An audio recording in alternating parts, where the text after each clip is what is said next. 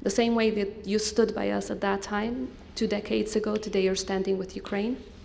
So I want to reassure you on behalf of Kosovo that the people of Kosovo also stand with Ukraine as we have shown by adopting sanctions immediately, the same day that the United States and the European Union have done so. And of course, we renew our call to all of the countries in our region to do so.